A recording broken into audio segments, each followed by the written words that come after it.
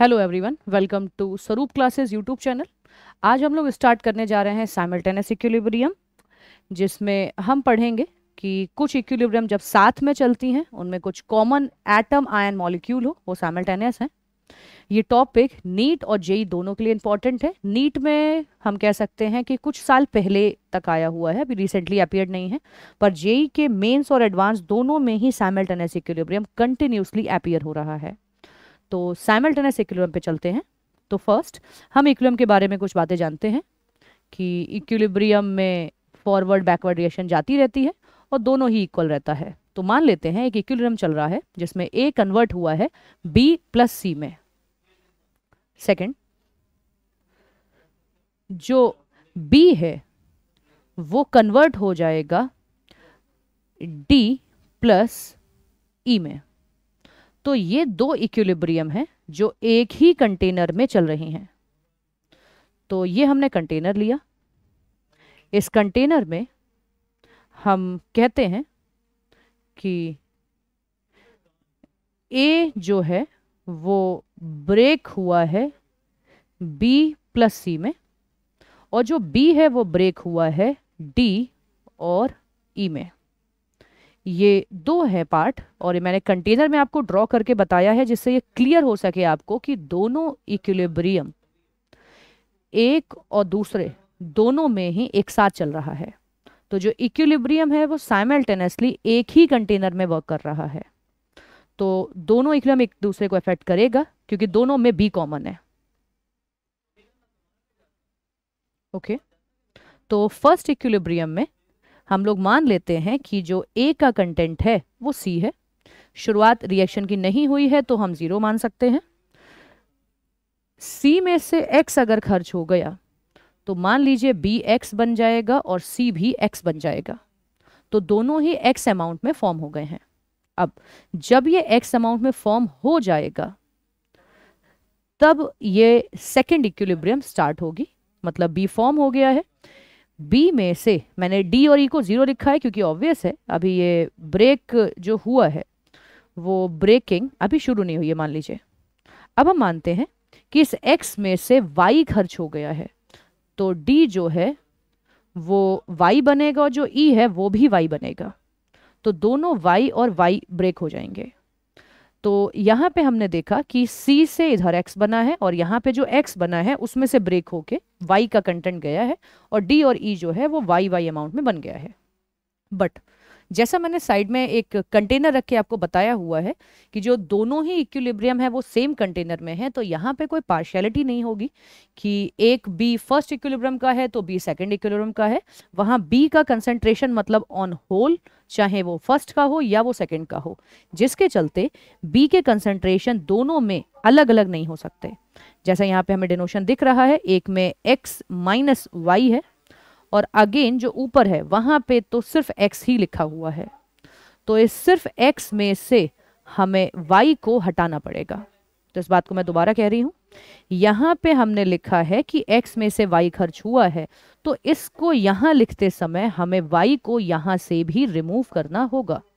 लेकिन हाँ ये ज़रूर है कि ऐसा हम करके अगर लिख रहे हैं, इसका मतलब है कि जब दोनों इक्विलिब्रियम स्टैब्लिश हो गई होंगी, मैं तब की कंडीशन लिख रही हूँ।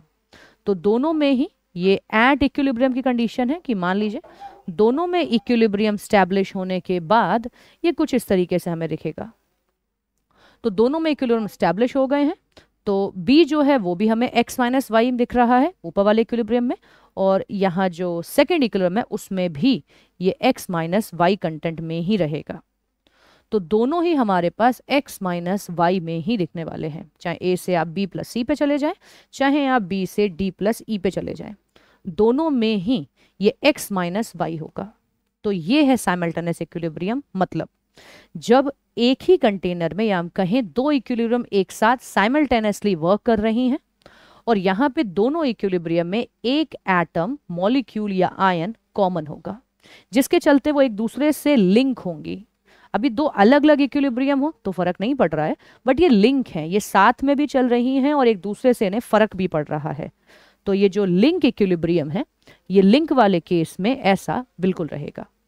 ओके तो ये इक्विलिब्रियम लिंक है यहाँ से, और हम कह सकते हैं ये एक दूसरे को अफेक्ट करेंगे तो ऐसे इक्विलिब्रियम कहलाते हैं साइमल्टेनियस इक्विलिब्रियम ओके तो कुछ क्वेश्चन पे चलते हैं, कुछ तरीका देखते हैं कि हम इन्हें कैसे लिखेंगे।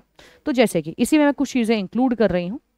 जैसे कि पहला इक्विलिब्रियम है, इसका इक्विलिब्रियम कांस्टेंट है के वन जो दूसरा है, उसका इक्विलिब्रियम कांस्टेंट है के टू तो अगर मैं फ़र्स्ट इक्विलिब्रियम कांस्टेंट को लिखूं तो मैं उसे लिखूँगी concentration of B C then concentration of A इनकी वैल्यूज़ मैं पुट करूँ, ये हो जाएगा एक्स माइनस वाई इसका कंसंट्रेशन एक्स हमने लिखा है, ये है सी माइनस एक्स वहीं पे K2 जो होगा, वो है D, दूसरा है E डिवाइडेड बाय B.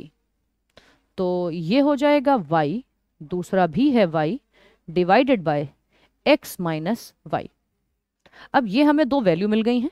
अब क्वेश्चन जैसा होगा, वो हमसे जो भी चीज़ें पूछ रहे होंगे, उसके अकॉर्डिंग हमें इन के को यूज़ करना है और फाइनल कंक्लूजन पे जाना है। फिर भी मैं आपको बता दूँ नॉर्मली न्यूमेरिकल में वो क्या चाहते हैं, वो हमें एक्स वाई का रिलेशन किसी तरह से मिल जाए। तो नॉर्मली न्यूमेरिकल में हम क्या करते हैं के वन अपन के टू निकाल लेते हैं। इससे क्या होगा? आप देख सकते हैं डिवाइड करने पे x माइनस वाई एलिमिनेट हो जाएगा।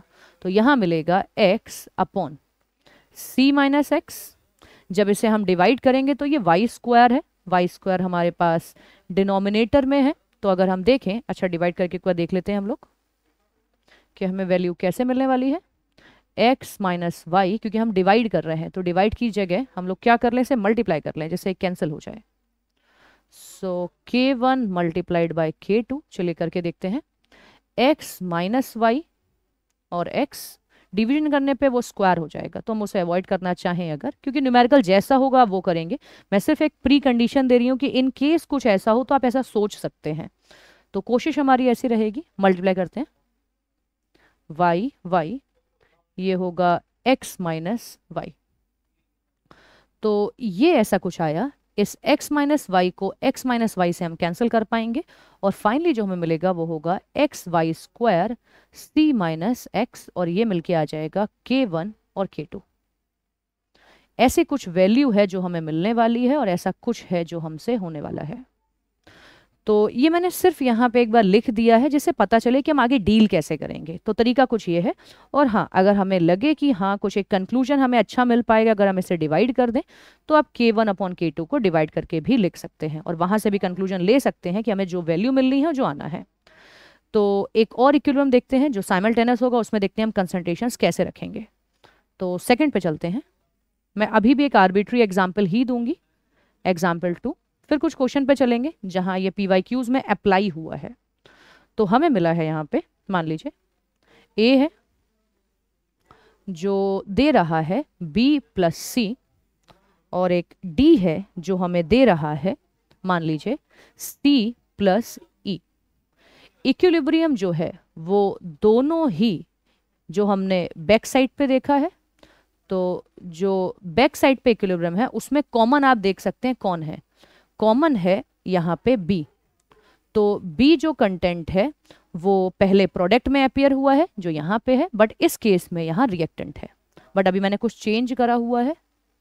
तो जो चेंज है हमारे पास, वो कुछ ऐसा है कि ए से बी प्लस सी दिया है, और जो डी है, उससे सी प्लस ई दिया है। तो यहाँ जो कॉमन है, वो दोनों प्रोडक्ट हैं। तो हल्का सा ही चेंज है।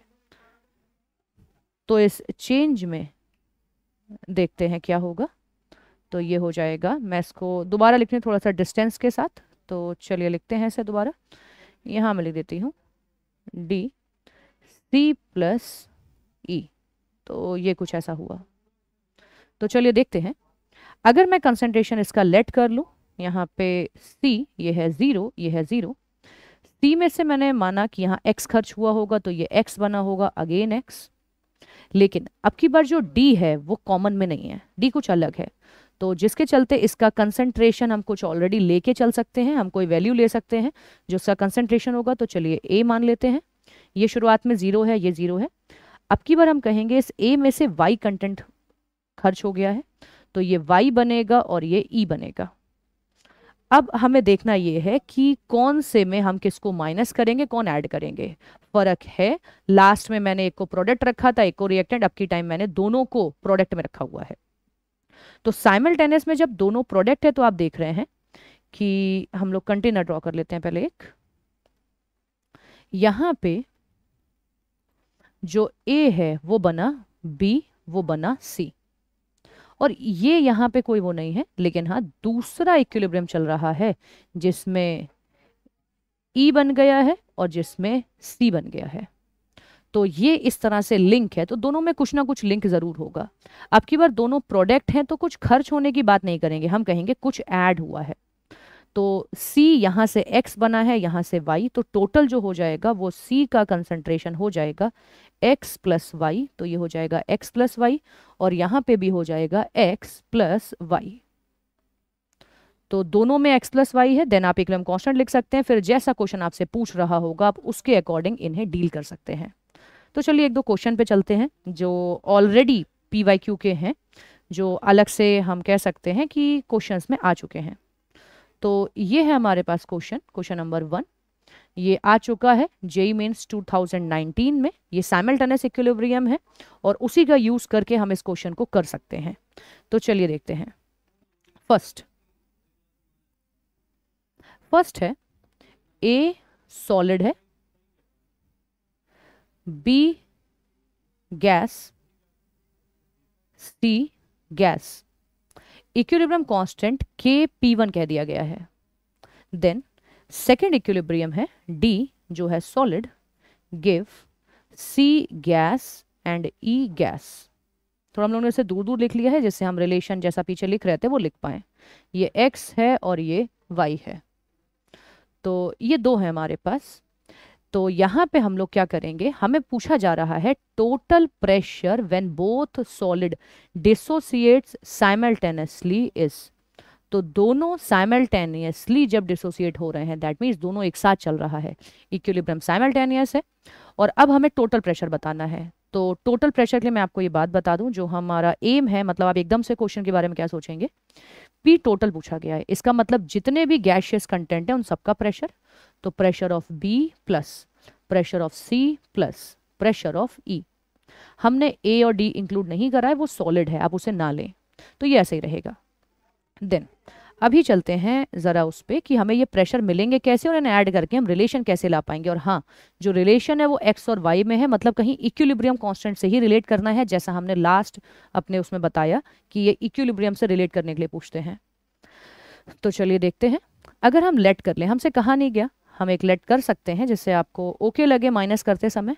तो अगर ये सी है, ये ज़ीरो है, ये ज़ीरो है सी में से हम मान लें कि पी वन कंटेंट गया है, या मैं कह दूँ कि सी जो उसका वैल्यू था, उसमें से पी वन कंटेंट गया है तो कोएफिशिएंट्स वन है तो ये पी वन बनेगा और ये पी वन बनेगा। देन इसको हम सी वन लिख लेते हैं। मान लीजिए ये सी टू था इस सी टू में से जो कंटेंट गया है, वो पी टू है। बाकी सी टू की हमें ज़रूरत नहीं है, वो सॉलिड है, वो इक्लो में इंक्लूड भी नहीं होगा। बट हम लिख रहे हैं जिससे आपको समझाना ईजी रहे अदरवाइज़ आप चाहें तो पी वन पी टू लिख सकते हैं बस। पी टू कंटेंट गया है तो ये पी टू बनेगा और ये भी पी टू बनेगा। अब बात आती है साइमल्टेनस की, जो हमने अभी प्रीवियस में देखा। तो देखिए कॉमन कौन है यहाँ पे? आपको कौन सा कॉमन दिख रहा है? Right right? जो कॉमन है वो सी है। तो सी यहाँ पे कॉमन है और वो प्रोडक्ट है। तो वो दोनों में सिर्फ़ बन रहा होगा तो खर्च होने की बात नहीं होगी। जो भी बना होगा, वो टोटल प्रेशर दे रहा होगा। मैंने प्रेशर के टर्म में लिखा है क्योंकि मुझे केपी दिया गया है। तो सी का प्रेशर यहाँ से पी टू है। तो जो टोटल प्रेशर सी का होगा, वो हो जाएगा P one plus P two तो मैं उन्हें दोनों तरफ़ इंक्लूड करना चाहूँगी। P one plus P two और मैं यहाँ पे भी इंक्लूड करूँगी P one plus P two ये इतना एप्लीकेशन है जो साइमल्टेनियस का आपको यहाँ देना होगा और उसके बाद ही क्वेश्चन आप कर पाएँगे। तो ये हुआ साइमल्टेनियस अब हम इसकी मदद से के की वैल्यू निकालते हैं। तो यहाँ के पी वन जो है, क्योंकि पी वन की टर्म में है, इसलिए हम ऐसा लिख ले रहे हैं। तो कंसंट्रेशन या मैं कहूँ प्रेशर हम पहले प्रोडक्ट का लेंगे। प्रोडक्ट में है सी सी का प्रेशर है। चलिए लिख देते हैं एक बार। Pressure of C and pressure of B pressure of C में है। P one plus P two और प्रेशर ऑफ़ बी में है पी वन दूसरा प्रेशर ऑफ़ टू में अगर देखा जाए तो सी का प्रेशर आप देखेंगे और प्रेशर आप ई e का देखेंगे.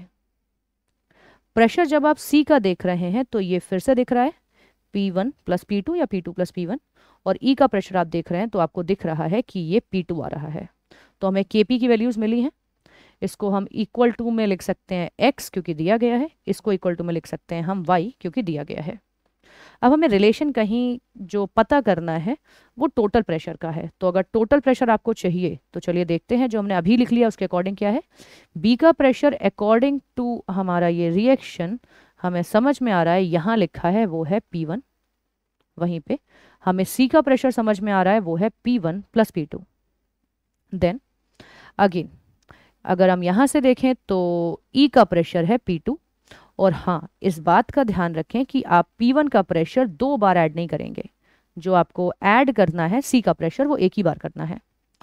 तो B का प्रेशर हुआ P1 दूसरा।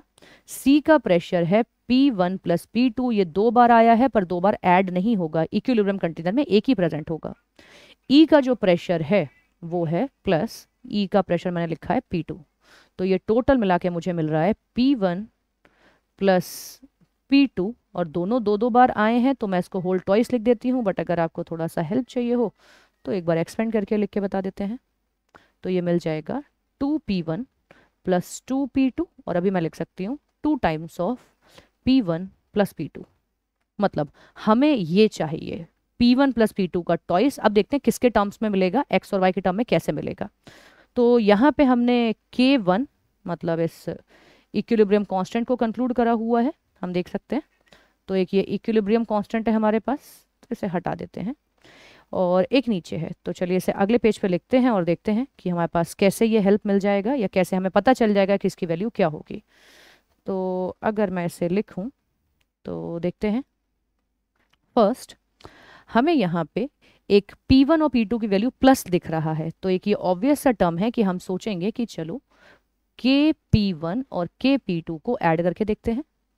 वैल्यू मिलेगा एक्स प्लस वाई और जो मैंने यहाँ एक्सप्रेशन लिखा है, उसके चलते हमें मिलेगा P one P one plus P two plus यहाँ पे मैंने लिखा हुआ है P two P one plus P two ये हमें वैल्यू मिला। बस फर्दर आगे हमें मैथमेटिकल कंक्लूजन ही देना है, क्योंकि जेई का क्वेश्चन है तो थोड़ा मैथमेटिकल है। यहाँ पे आपको एक रिलेशन चाहिए, और बच्चे ऐसा करते रहते हैं मैथ में। P one square plus P one P two plus P two P one plus P two square आपको ये क्लियरली विजिबल है कि ये प्रॉपर्टी हो रही है। P one twice of P one P two plus P two square और इसे आप लिख सकते हैं A plus B whole square क्योंकि यहाँ पी वन स्क्वायर है पी टू स्क्वायर है plus two P one P two है। तो जो हमें वैल्यू मिल चुकी है एक्स प्लस वाई की, वो ये है। और अगर हम यहाँ से रिलेट करें, हम यहाँ से वैल्यू निकालें तो हमें यहाँ से वैल्यू मिल जाएगी, जो हम सेकेंड में लिखते हैं। जो हमें वैल्यू मिल रही है, वो है P one plus P two whole square equal to X plus Y मैंने बस एक साथ लिखा है, कोई चेंज नहीं है। और अगर मैं यहाँ से P1 वन प्लस पी निकालूं तो आपको पता है, अगर आप स्क्वायर रूट ले लें तो P1 वन प्लस पी मिल जाएगा।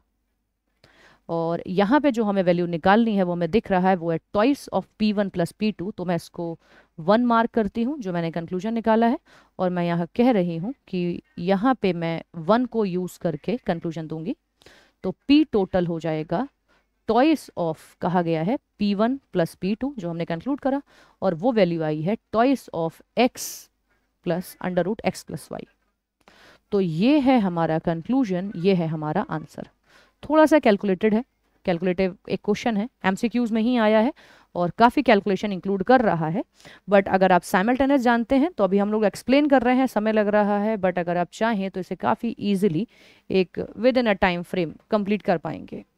सो so, ये था पहला क्वेश्चन जो ऑलरेडी हमारे उसमें आ चुका है पेपर में। सेकेंड पे मूव करते हैं।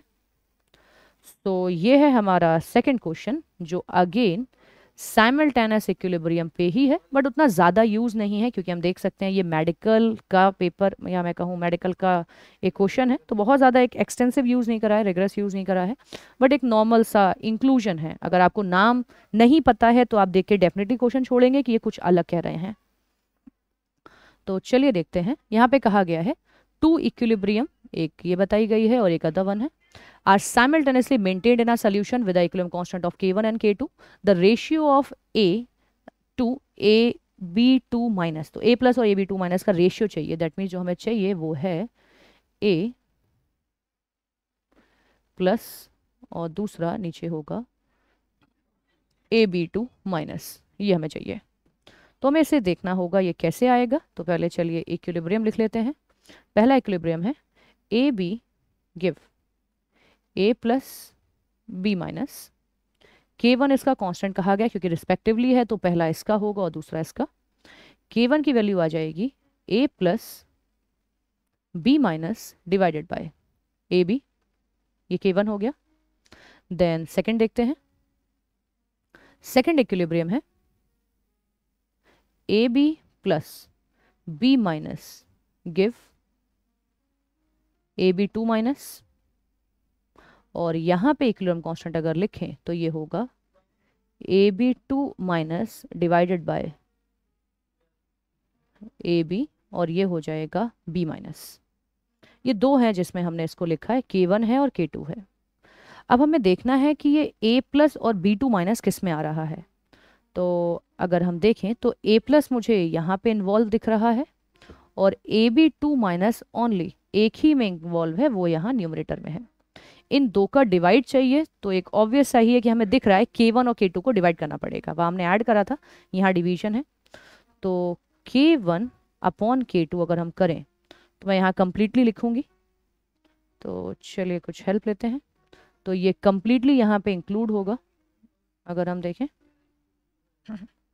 तो ये हो जाएगा A plus B minus upon A B multiplied by क्योंकि यहाँ डिवाइड है तो हम ऐसा कह सकते हैं कि रेसिप्रोकल करके मल्टीप्लाई कर दिया गया है। ये एक नॉर्मल हमारा मैथ का कंक्लूजन है।